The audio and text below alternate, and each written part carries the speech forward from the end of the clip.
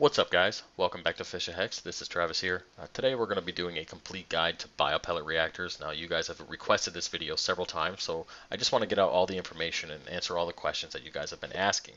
Uh, in this video uh, some of the topics that we're going to cover are uh, why would you need a biopellet reactor in the first place? How does that biopellet reactor work? Uh, should you go with DIY or new and add some plumbing tips in there? Uh, then we're going to go into how to start the biopellet reactor for the first time, and then finally ending the video with some maintenance and general tips. Alright, so without further ado, let's go ahead and get into it. Alright, the first part of this is why would you need a biopellet reactor in the first place? Now, biopellets exist for one reason and one reason only, and that is to remove nitrates from the water column.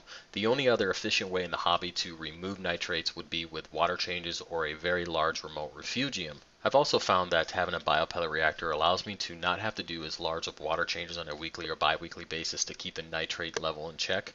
Um, I also found that I can uh, have a little bit more fish and feed a little bit more but uh, don't get it confused. It's not an excuse not to do water changes or to overfeed your fish. Uh, what will happen is uh, eventually the biopellet reactor can only do so much, can only process so much, and if you're continually uh, slamming your tank with food or overstocking your tank with tons and tons of fish, uh, you will have an issue and you will have algae problems. So just keep that in mind. Okay, moving on. How does a biopellet reactor actually work? Now, biopellets are a type of carbon dosing, just like dosing vodka or sugar in the reef tank. It has the same principles and uh, it's basically the same thing, but it's a more manageable, easier to implement on your reef tank and requires less maintenance. Now, uh, if you were to dose vodka, you would have to either do it manually or put it on a dosing pump and, uh, you know, obviously check the levels and go out and purchase vodka whenever you need it. Uh, sugar, obviously, you'd have to do that manually either on a daily or every other day basis to keep the uh, bacteria at a certain level. Now, most people find that biopellets are much easier, um, but there are some things that I'll get into later in the video that uh, will either make or break your success with biopellets. All right, so uh, what are biopellets actually made up of? Well, they are a biodegradable uh, polymer type of media. Now, this media uh, will feed and promote the growth of aerobic and anaerobic, can't even pronounce that right, so apologize if I butchered it, uh, bacteria. Now, basically, this bacteria primary sources to feed on the media and feed on the nitrates in the water column. Now the whole process is uh, basically you're going to force water through the bottom of the reactor up through the media allowing it to tumble at a, an efficient rate. Now you'll see in my video here how my biopellets actually tumble and I found that uh, it's great success the way they are. Now what happens guys is the uh, bacteria grows on this media, and as it's bouncing around, the old bacteria pretty much gets knocked off the media, and then it gets uh, sent through the top of the reactor into the skimmer for, and then allows it to be uh, skimmed off into the collection cup. Now, once this old bacteria is broken off the uh, media, the new bacteria has room to grow and continue the whole process. And pretty much that happens continuously. And pretty much the only thing you have to do over time is add biopellets every six to 10 weeks, depending on how your flow is in that reactor. But that's usually what I have to do just to kind of top them off. And as you can see on the reactor, I have a line. So basically I turn all the flow off and pretty much just cap it off at that line. Okay, when it comes to what reactor you should use in your system, it's really your call. You have two choices. You can go the DIY route like I did, or you can go ahead and buy one uh, from like a bulk reef supply or something like that uh, that's actually specifically made for biopellets. That's your call, whatever you uh, want to do. But I personally like to do the uh, DIY route just because it kind of saves me some money in the long run, and, and I like making the projects and uh, doing that kind of stuff for the reef tank. But that's me. Uh, you do what works best for you. But at the end of the day, uh, the biopellet reactor is pretty simple concept. You're going to force water down through the media that will force it to come up through the media, allowing it to tumble efficiently. Now, if you guys have seen any of the previous videos, which I will add links to both of them in the description below so you can see how I made the reactors. But basically what it is, guys, I made the uh, Phosban 150 earlier on. I upgraded to the Phosban 550 because I wanted to do a little bit more biopellets, but I found that I couldn't get enough flow through the 550 to allow the biopellets to tumble efficiently, so I ended up moving back to the 150, and that's where I'm at now. Okay, the most important part about a biopellet reactor is being able to control the flow. Now, you want to be able to either turn it down or turn it up based on how much media you actually have in your reactor. Now, the uh, Phosban 550 and 150 come with a ball valve which allows you to adjust the flow and I usually adjust it on the input not on the output um, some people uh, can do it on the output but I've just found that it's easier to do it on the input you get a little bit more controllability um, What happens if you don't get enough flow in the reactor? The media itself will actually turn into a solid block and is useless at that point.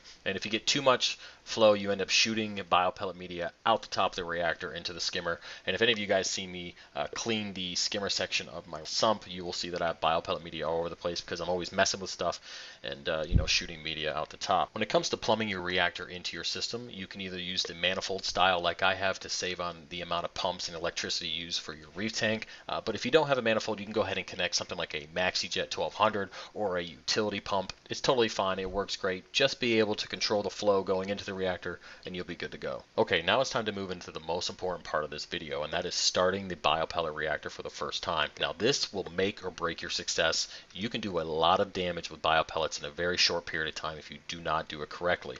Now what I'm about to go over is what I've done personally, what I've done for my subscribers, and what I've done for clients here around Harrisburg. Now the first thing you want to do is go slow. Can't stress that enough. Go slow. Now most biopellet media is about 100 milliliters per 25 gallons of water. I have 500 milliliters in my biopellet reactor now, uh, but guys, you do not, let me say this again, do not add the full amount of biopellets to your reactor at once. That is a no-no. What's going to happen if you add 500 milliliters at one time to a system that's never had biopellet reactor? You will uh, get the bacteria bloom, which will strip the system, basically the entire tank, of uh, nitrates. Basically, zero nitrates is a bad thing. You never want to be at completely zero unless you're running a Zeovit system. But uh, if you strip the tank completely of nutrients, you will kill your coral, you will kill your fish. It will happen. It's it's not good. There's a lot of people who have done that.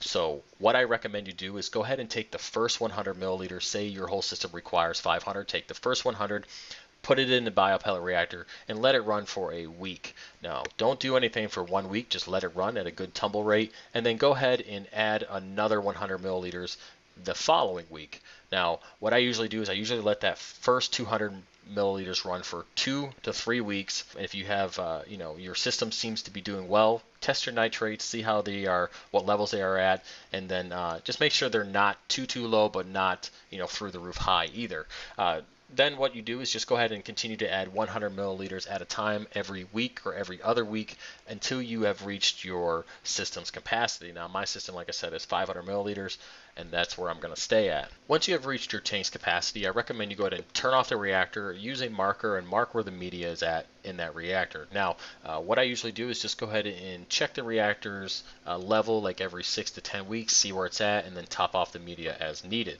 Okay, moving on to the maintenance portion of the video. Uh, when it comes to maintenance on a biopellet reactor, it's pretty simple, it's pretty quick but uh, I find that I have to do it every two to three weeks, uh, depending on what media I'm using. Now, uh, before I switched to the bulk reef supply media, I was using two little fishies, and I found that I had to clean my biopellet reactor literally every week. Uh, basically, what happens is this uh, bacteria film, and it comes out and it just clogs everything. Trust me, it clogs return pumps, it clogs the skimmer, it clogs the hose that's going to the skimmer, and it clogs the biopellet reactor, which will all reduce uh, the efficiency of the skimmer and it will reduce the tumble rate in the reactor. One way to know if you have to clean your reactor is if you're not getting a good tumble rate based on the flow that you're putting through it. Now, what I usually do is I just go ahead and take the reactor apart, set the media aside in some water that's still in the reactor, and then clean that whole top. Run it underneath hot water, scrape with a brush, use the dental pick to clean off any of the harder pieces. And also what I do is I go ahead and I take the hose and I run hot water through it, bend the hose, and that bacteria will just flow out the other end, and then you can connect it to normal. Uh, usually I do my skimmer maintenance every three months, so I just clean the skimmer at that point, uh, and it's usually not too bad. It takes longer to clog up the skimmer than it does the hose on the biopellet reactor.